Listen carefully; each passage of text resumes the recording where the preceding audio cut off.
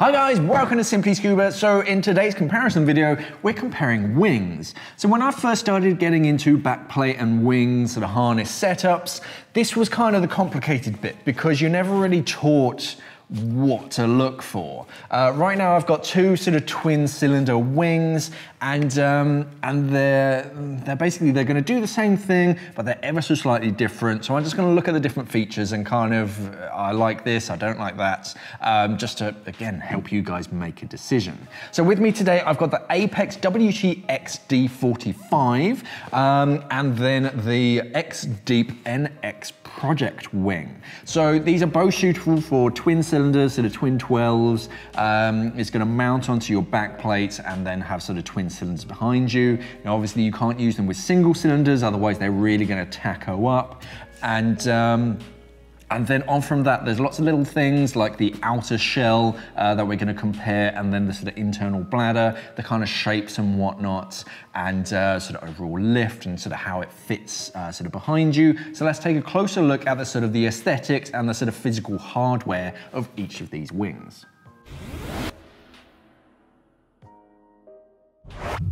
Okay, so we're gonna start off looking at the WTX 45, so I'm just gonna move the X Deep project out of the way a little bit. So, this is very much a classic donut wing. Uh, so that basically means that it connects down at the bottom. The old fashioned sort of horseshoe uh, sort of style wings, they don't have this section, um, but this is much more popular because you don't have two separate lobes and uh, air can get trapped inside one side. It's kind of free to flow all the way around. The only downside um, to a donut wing that I can really find is some people think that when you're um, sort of storing your, um, or sort of standing up your unit. Sometimes your cylinders can kind of stand on that bit, but touch wood, it's never been a problem for me. So we have this huge dead zone in the center. This is where your back plate is going to mount. And uh, if I just get the hose out of the way, you can see all these different mounting points. So these are what you really want to be looking at. Uh, we've got three different sort of uh, grommets at the top, and then this is really important for me. We've got a, uh, a long slide, so that way, even if you're not using an Apeks wing, you're more likely to be able to mount it. Because I mix and match my gear, sometimes my back plate, the holes in my back plate don't line up perfectly with the holes in this kind of dead zone. So this is really important because it doesn't have to be exactly um, sort of fitted to be able to mount it. So that uh, definitely wins my vote. Um, big, big open space because your cylinders are, are going to be on the other side of this and you want that kind of inflation to go around them, otherwise you just limit your, um, your buoyancy. Um, we've got some grommets at the bottom so it drains. Uh, we've got a low pressure, sorry, low pressure, low volume, um, or low profile is an even better way to describe it, um, so dump valve. Um, it does have a little tag, I'd probably take that off.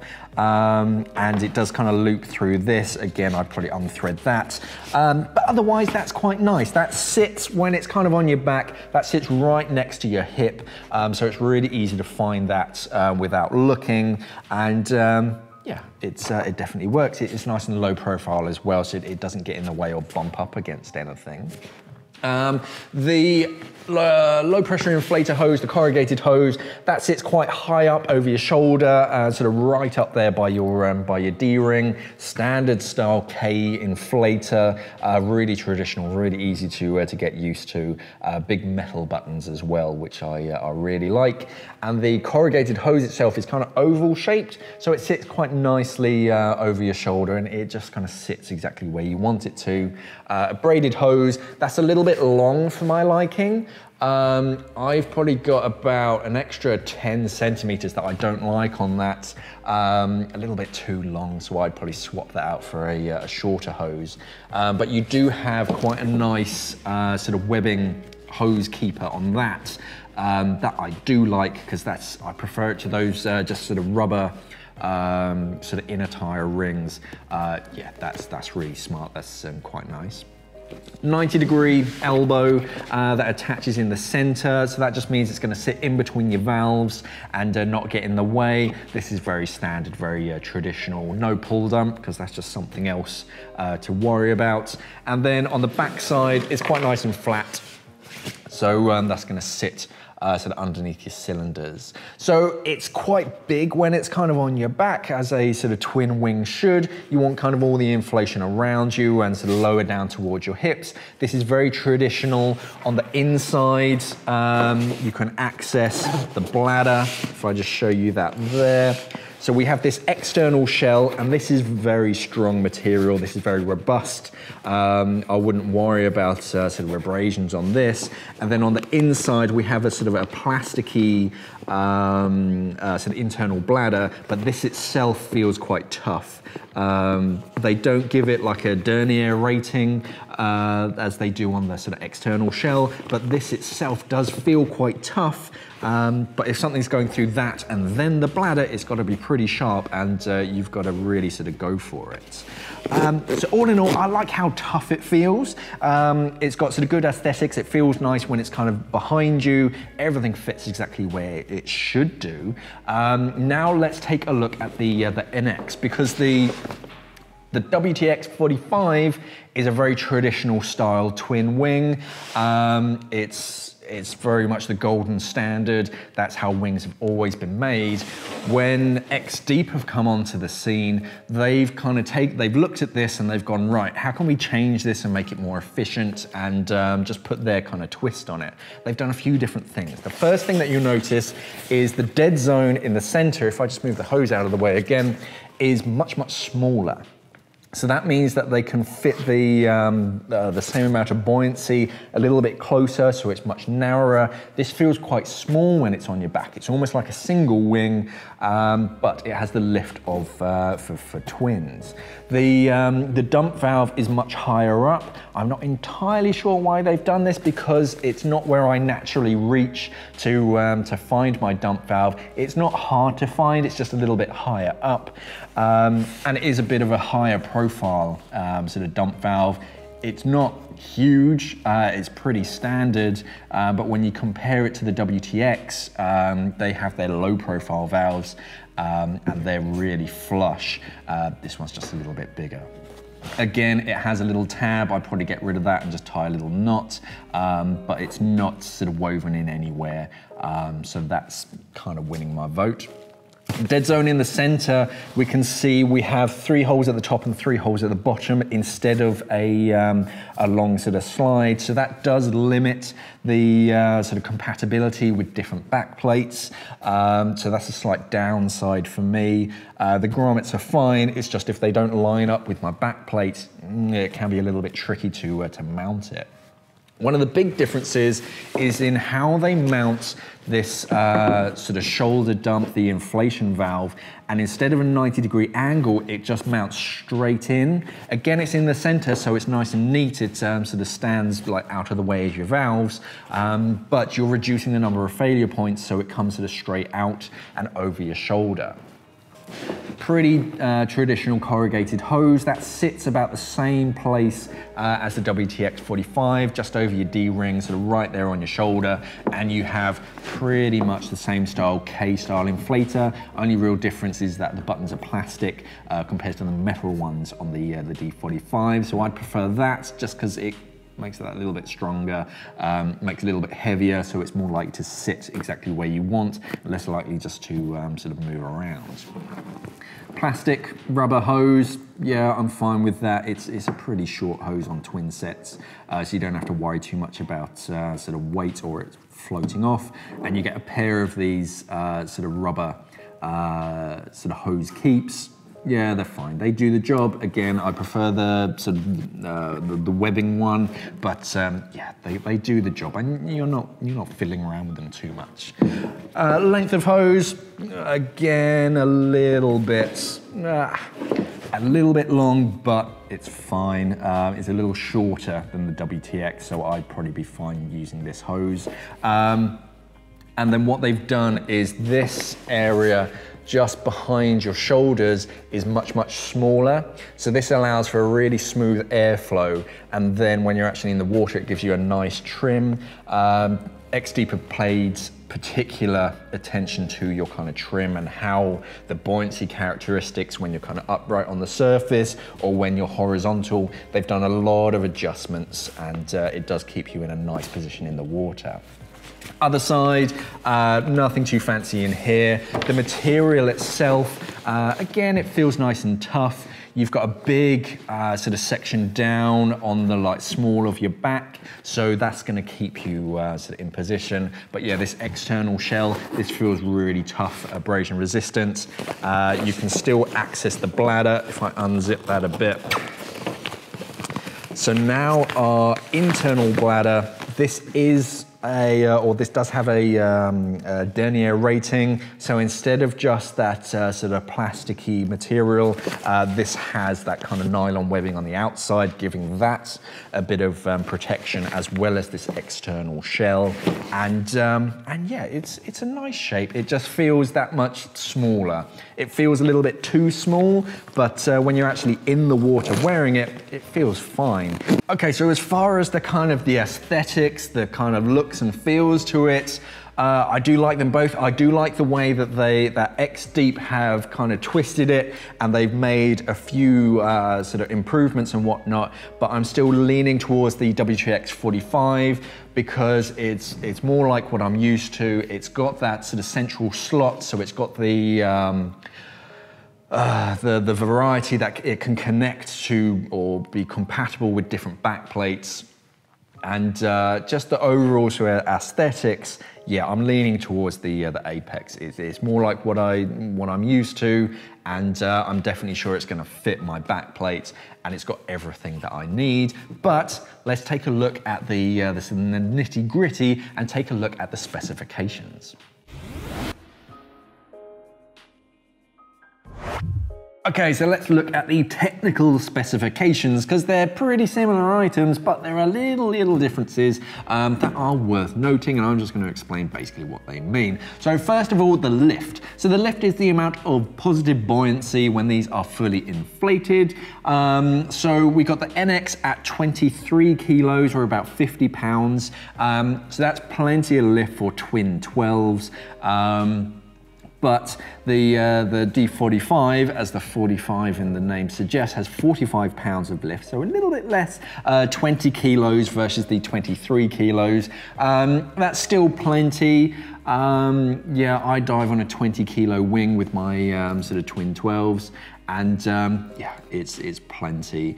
Um, sort of any more, and it's it's getting into sort of more technical where you just need even more buoyancy. But for uh, sort of most of recreational diving on uh, sort of steel twin 12s, plenty of lift. Um, the external shell differs as well. On the NX, you've got 1,100 denier material. On the uh, on the 45, you just got 1,000. So they're both strong, they're both of abrasion resistant, but it's a little bit tougher on the uh, on the NX. So that way, if you're uh, sort of going in and out of wrecks or sort of confined spaces, it's just a little bit tougher as well um, in sort of comparing them. Then with the internal shell, the actual bladders themselves, the um, the the 45, this has 22 mil urethane, um, which doesn't really mean too much to me. Um, it's uh, it's hard to compare that to a um, uh, a, sort of nylon cordura, sort of denier material, um, because you've got 440 denier for the, uh, the internal bladder on this one. It feels strong. I'd wager to say that the 440 is a little bit tougher on the, um, on the NX. Uh, but I can't really compare those two. It's, it's hard to say sort of which is actually uh, sort of tougher.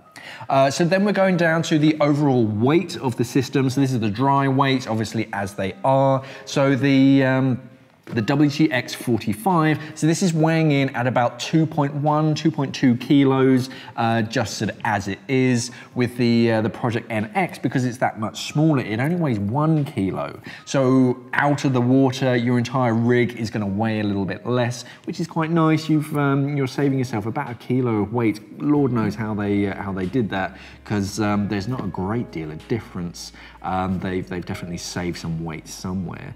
Um, and then finally, we get down to the, the recommended retail price. So right now, the, uh, the NX uh, sort of retails around the 319 British pounds, uh, whereas the WTX is retailing around the 340. So it's about 20 pounds more expensive at the full sort of RRP. Uh, the actual web prices, they all fluctuate, so I'm just gonna tell you the RRP. Um, but you're getting a few different features. You've got sort of more material, um, but uh, but yeah. Other than that, um, XDeep are very good at of throwing in information, the, uh, the additional extras that uh, aren't immediately obvious. So we have a sort of antibacterial and antifungal coating on the inside of their bladder. Uh, I know Apeks do that on some of their regulators. I don't know whether it's got it on the uh, on the actual bladder itself. It might do, but they don't mention it on their webpage, so I don't really know.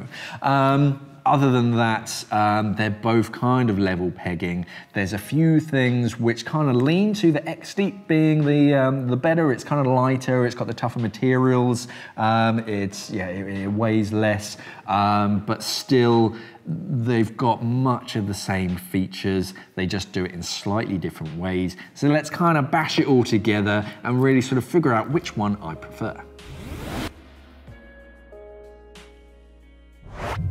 Okay, so there are your specs. So, um, so yeah, they're both kind of the same thing. There's a few little itty bitty changes, um, but overall, I'm still leaning towards the classic, the, the WTX D45. It's, it ticks all of the boxes and it's got that sort of customizability. So even if you're not diving a Apeks backplate, you can still fit it. Um, that's a massive tick on uh, in sort of my books. Okay, it's a little bit larger profile, but um, that, has never been a, a huge issue for me because it's not that much wider than my shoulders, so I don't have to worry too much about uh, sort of that overall width. And um, because it's not sort of fully inflated when I'm actually under the water, it just sits there and it, and it does its job. It's tough, it's got that classic inflator, uh, I prefer all the little sort of details on it. So yeah, I'm leaning towards the WTX 45. I do love the uh, X Deep. I'd be happy with that. Don't get me wrong, but I find with their sort of bladders and whatnot, I prefer them in their sort of lightweight uh, kind of setups, like with their Zen and their Ghosts, with those kind of wings because they're all set up and uh, it's all X deep and they are just, they're lovely um, setups. But as a, an individual, just a wing, just a bladder, to then fit to uh, a, a, black, a back plate and harness setup, yeah, I, I just love the Apeks WTX range. They're, as I said, they're strong, they're tough, um, they do everything. They've got decent buoyancy, nice trim in the water as well. Um, you've got the low profile valves. Admittedly, yeah, I change a few things there, um, but actually, yeah, it ticks all the boxes for me. Okay, yes, it does have a lot of dead space um, sort of over the back plate, but hey, it's, it's not the end of the world. But of course, what do you guys reckon? What do you use? Um, I mean, uh, I don't actually dive with either of these. I actually have a different wing, but if that one were to, uh, to pack up, I'd probably be looking at these two as my sort of top tier replacements. And yeah, I'd probably go for the, uh, the 45 if, uh, if my twin wing ever uh, sort of packed it in, because yeah, it's, it's a nice shape and it ticks all the boxes for me. But what do you guys reckon? What would you dive on if you're diving twins? What do you dive on? Is 45 pounds enough lift for you? Um, if you're diving with multiple stages, you can go up to a larger size. Um, this is very much fine for me because I just tend to have um, sort of twin 12 steels and maybe one uh, sort of stage cylinder. That's plenty of lift for me. Um, but uh, yeah, let's have a discussion in the comments below. Thanks for watching. And of course, if you enjoyed this, don't forget to click that like, share, and subscribe button so you can see more like it. Uh, we do about one of these every single week. And if you want me to compare anything in particular, let us know in the comments and I'll see if I can get my hands on one and give you my impressions on it. Yeah, thanks for watching and safe diving. We are an online dive store serving the UK and the world for all your diving equipment needs. So why not visit us at simplyscuba.com or click the box on your screen.